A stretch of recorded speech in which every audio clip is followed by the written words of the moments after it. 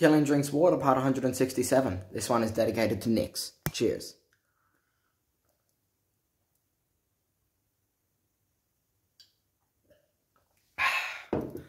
Peace.